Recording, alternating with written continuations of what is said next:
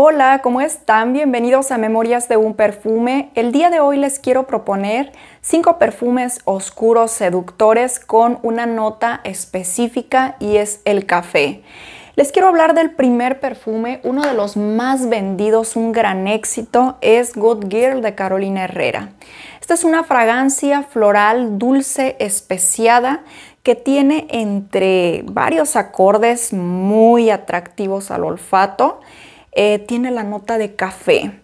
Aquí hay praliné, hay flores blancas como flor de azar, hay jazmín, también se siente el cacao.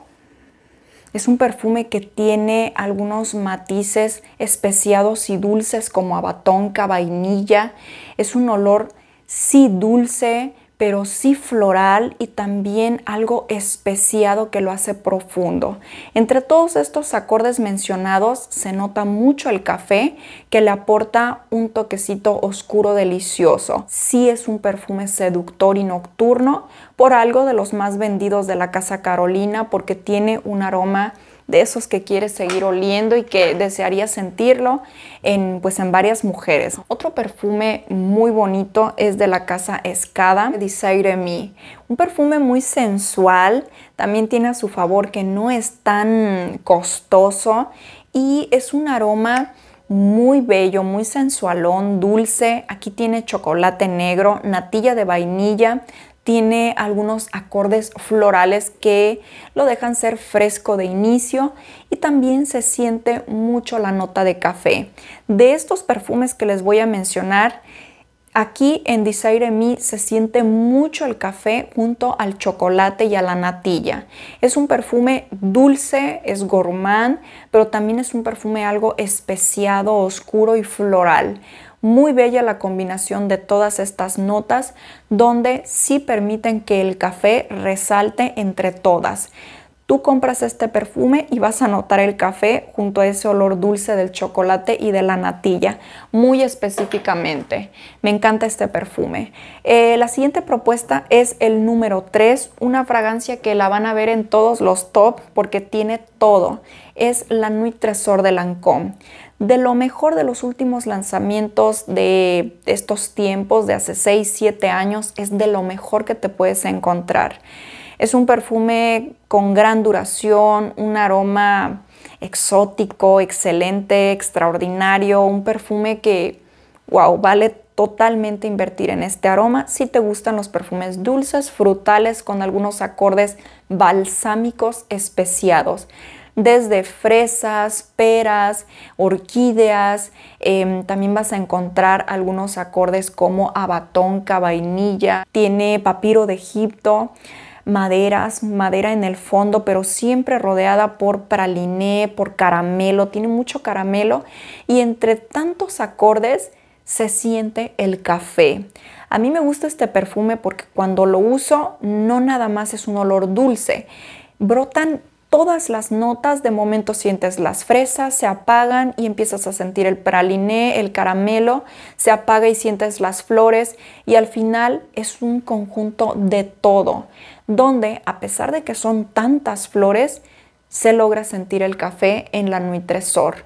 Yo les aconsejo que lo prueben, que lo busquen. Esta fragancia es la perfección, la perfección desde la botella hasta el aroma y el performance. Y nos vamos con el siguiente, es el número 4.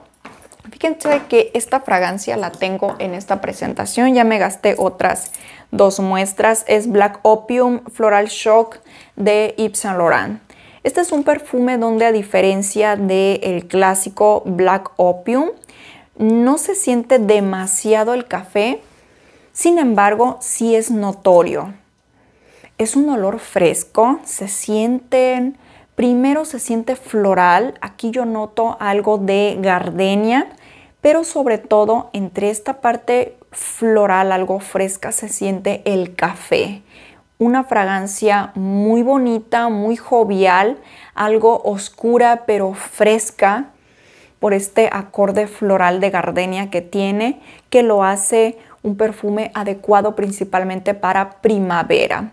Se los recomiendo, tiene buena permanencia en la piel, unas 5 horas y media, 6 horas sí logra estar y pues a diferencia de el Black Opium, el clásico, allá sí se siente un poco más la nota de café, lo siento un poco más dulce, más oscuro y este perfume es una muy buena opción para aquellas chicas que busquen un perfume también dulce, muy del estilo de Black Opium, pero que se sienta un poquito más floral.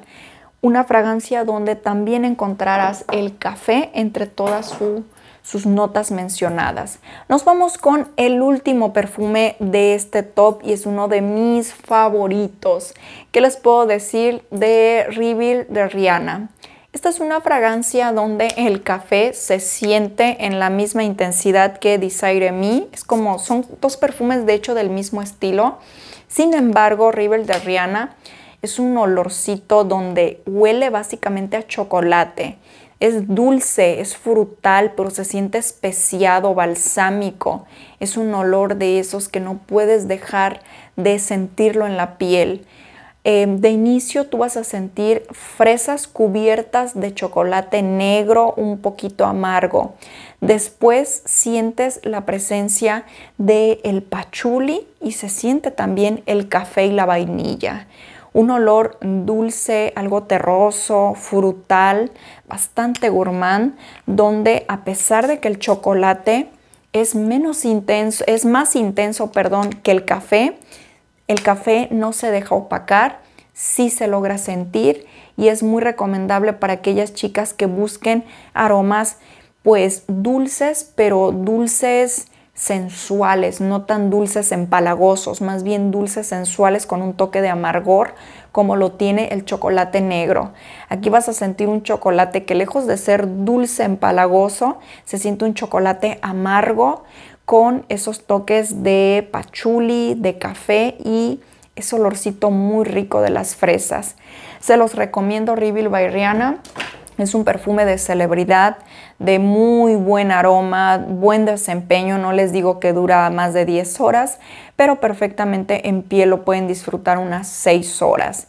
Son cinco perfumes con esta notita de café, los hace sensuales, atrayentes, en algunos un poquito más intensa, en otros más difuminada, pero tienen ese acorde pues oscuro, seductor que es el café. Principalmente en dos perfumes de este top es donde más resalta esa nota deliciosa y pues yo invito a que prueben estos perfumes. También me encantaría que aquí en comentarios me compartieran ustedes un perfume con la nota de café que sea su favorito.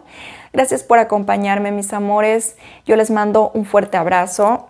Un beso muy grande a cada uno y nos vemos hasta la próxima.